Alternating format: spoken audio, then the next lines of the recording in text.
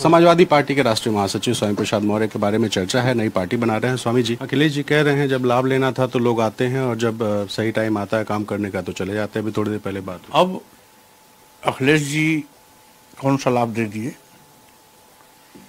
अखिलेश जी को लाभ मैंने दिया। मेरे आने से उनका वोट छः फ़ीसदी लगभग बढ़ा है। जो सत्ता में रहने पर भी इतना वोट नहीं पाए थे। पैंतालीस विधायक की उनकी हैसियत थी। आज 110 11 विधायक मैंने उनको दिया है। मैंने दिया है।